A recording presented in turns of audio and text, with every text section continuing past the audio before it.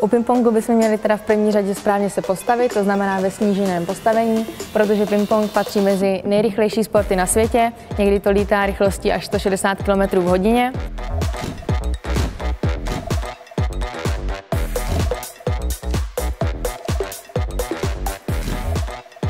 Pálku bychom správně měli držet, jak kdyby jsme někomu podávali ruku.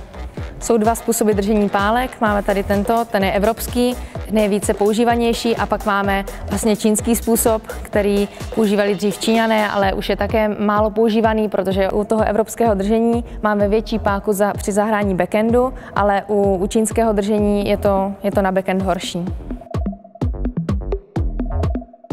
Základní tip je hlavně hrát míčky s velkou rotací a tak je umístěvat po stole, aby soupeř nestíhal.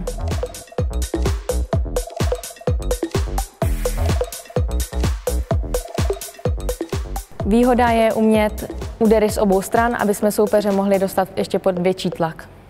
U forehandu je nejdůležitější, aby jsme se správně postavili, vytočili vlastně mírně pravou nohou a hráli úder před tělem.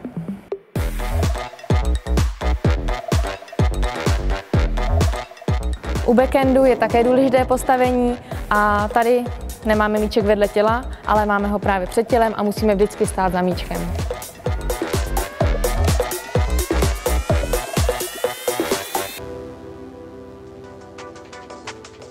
Nejdůležitější jsou u pingpongu reflexy a ty můžeme trénovat na robotovi, který si připevníme na druhou půlku stolu a ten nám střílí míčky a my vlastně se snažíme jenom reagovat. Časté chyby začátečníků jsou, že chtějí hrát celou rukou, ale to se u pingpongu nehraje. Nejdůležitější jsou u toho vlastně části tady předloktí a taky zápěstí. To je u pingpongu nejdůležitější.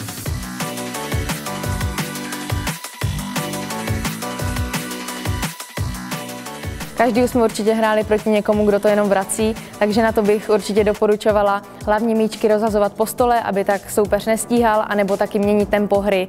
To znamená i, i kratší míčky, delší míčky, aby, aby jsme ho rozhodili. Smečujeme v tu chvíli, když je soupeř daleko od stolu a přiletí nám uh, vysoký balón, uh, postavíme se na něho vlastně bokem a snažíme se do něho přenést, přenést celou váhu a zapojit do toho celé tělo.